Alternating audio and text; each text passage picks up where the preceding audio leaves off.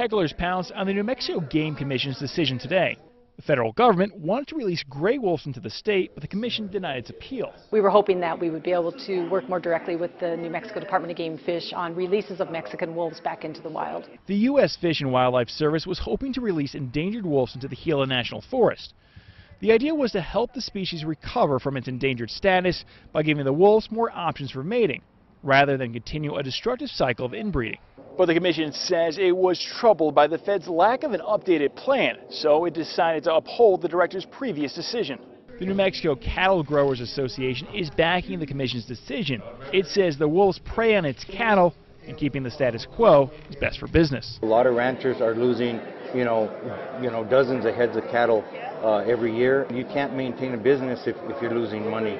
But the feds say they're not done with this fight and will keep trying everything it can do to get the wolf population back to where the feds believe it needs to be.